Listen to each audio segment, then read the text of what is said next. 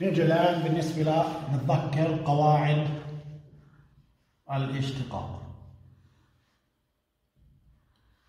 أخذنا إحنا القاعدة الأولى اللي هي مشتقة العدد الثابت يعني صاد تساوي ألف حيث ألف عدد ثابت. معنى د صاد عدد س يساوي صفر. القاعدة الثانية أن تذكرين صاد تساوي ألف س ونون. قلنا مشتقتها د صاد عدد س تساوي نون في ألف في س ونون ناقص واحد.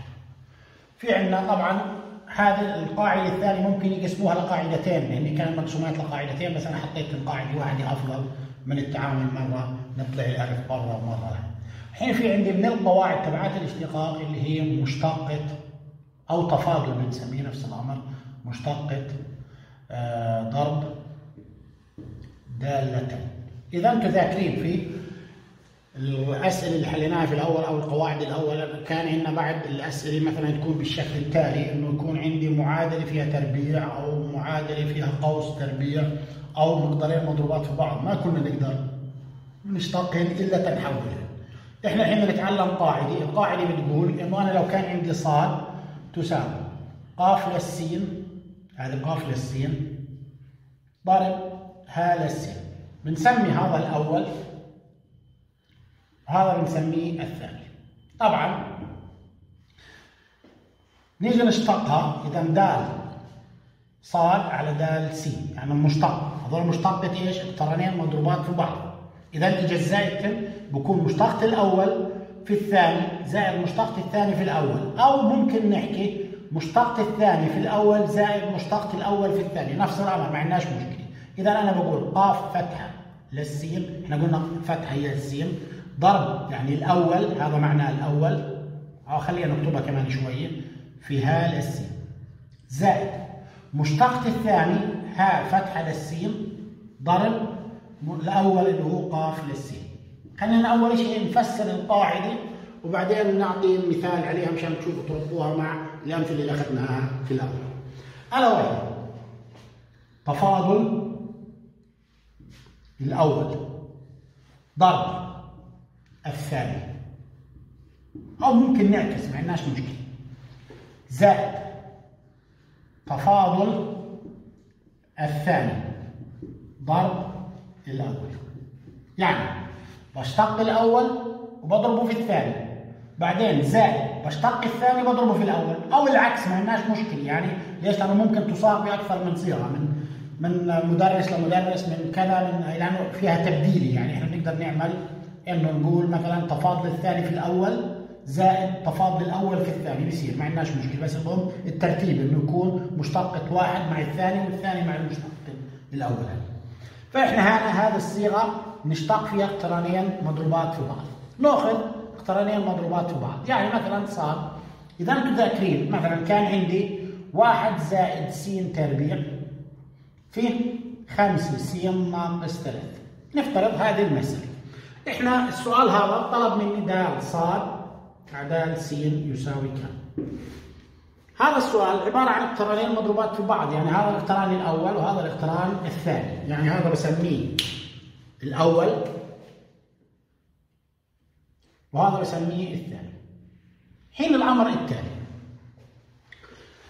في عندي طريقتين. إذا أنتم ذاكرين إحنا أخذنا في الأول يعني أنا ممكن أفكم بعدين أشتق أو ممكن نتعامل معها بالقاعدة هذه. إنه القاعدة طبعا هذاك اللي هو نضربهم في بعض وبعدين نفكر وبعدين نشتق هذا أعطيته أنا في الفيديوهات الأولانية. يعني في الفيديو اللي قبل كان موجود هذا فاذا أنا باجي لدال صاد عدالة س تساوي. قلنا مشتقة الأول. الأول هاي الأول. أنا عندي هذا القوس الأول هو الاقتران الأول. مشتقة الواحد صفر. زائد مشتقة س تربيع قلنا هي 2 س هاي حط قوس. في الثاني. الثاني زي ما هو بنقول بدون اشتقاق. هذه الطريقة الثانية عنها زائد مشتقة الثاني القوس الثاني مشتقته. هذا إيش؟ خمسة؟ لأنه خمسة س تعودنا على القواعد ناقص ثلاث ثلاث ما هي صفر. في الأول شو الأول؟ واحد زائد س تربيع إذا إحنا عملنا عملية المشتقة مشتقة الأول في الثاني زي ما هو زائد. مشتقة الثاني في الأول زي ما هو. نيجي هنا بنحاول نفك هذه الأقواس مشان نبسطها يعني إحنا أول على آخر لازم نفك الأقواس الصفر مالناش دخل. فيه 2 س نضربها بتصير 10 س تربيع. 2 س اللي هي سالب 6 س بعدها نيجي عند زائد 5 زائد 5 س تربيع. قلنا الحدود المتشابهة. في عندي هذا الحد وهذا الحد متشابهات. إذا يساوي 5 و10 هنا عندي 15 س تربيع ناقص 6 س زائد 5 هذا الأمر بالنسبة لمشتقة اقترانين مضروبات في بعض نيجي الحين لمين؟ لقاعدة إيش؟ في قاعدة بتقول إنه مشتقة أو تفاضل مشتقة قسمة اقترانين يعني أو مشتقة تفاضل أو تفاضل عفوا تفاضل قسمة أو خارج قسمة دالتين. يعني صاد تساوي.